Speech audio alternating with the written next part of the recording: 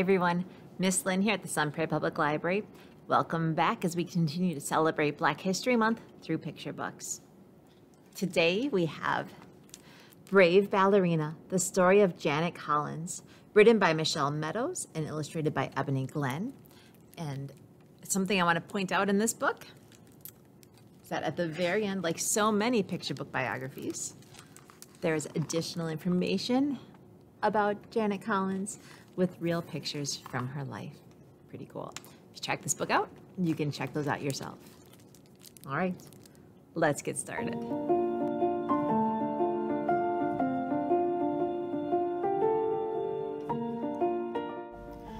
Brave Ballerina, the story of Janet Collins.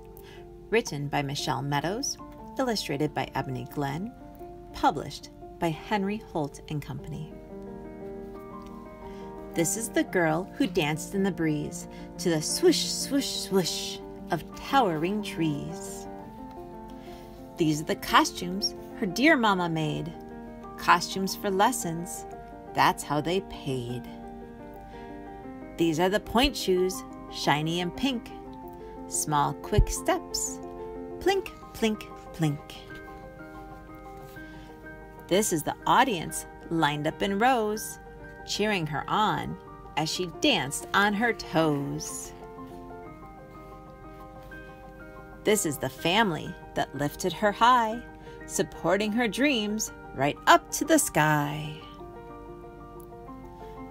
This is the backbend, low to the ground, which she practiced until it was perfectly round. This is the trio, three shades of brown, daredevil dancers the talk of the town. This is the time, way back in the day, when dance schools turned black students away.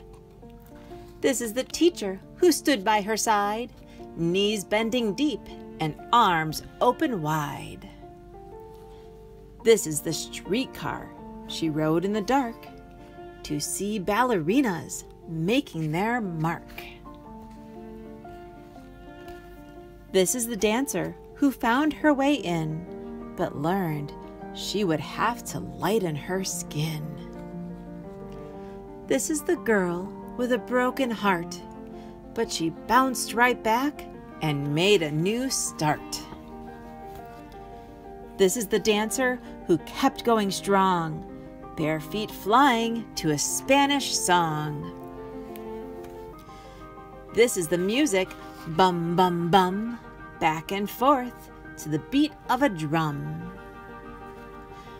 This is the class, a welcoming place that focused on talent regardless of race. This is the sweat that dripped from her skin when she practiced alone again and again.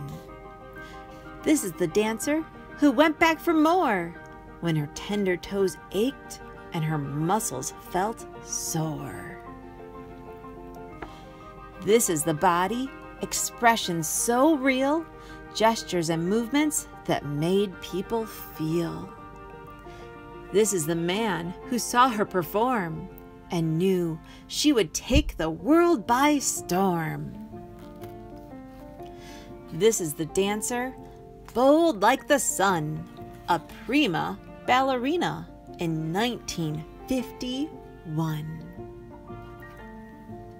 in the author's note about how her experience with ballet led her to write this book and all of her research on Janet Collins. And here's a picture of Janet Collins in 1951, the year she first performed at the Metropolitan Opera House. And a picture of Janet Collins holding a flower bouquet in her dressing room after performing at the Met Opera on November 13th, 1951. I hope you enjoyed that one. Join us next time for another book to celebrate Black History Month. Bye!